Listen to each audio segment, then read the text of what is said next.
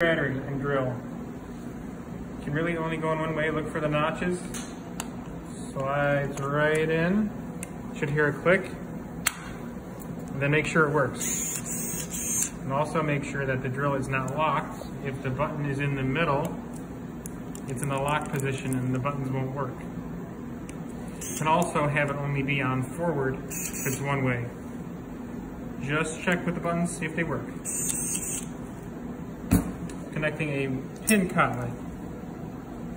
Only logically makes sense one way. It can fit in this way.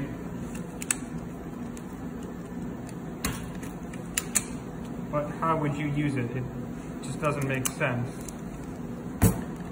So to get it out, pull back on this collet, pulls out, and just audibly snaps in.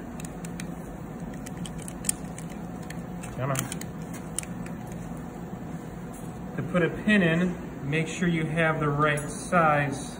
As you can see, some of them are adjustable. This is the size on the side of the drill. So check with your wire before you put it in. If you put it on the small one, this size pin won't go in. So we're just gonna change it to medium.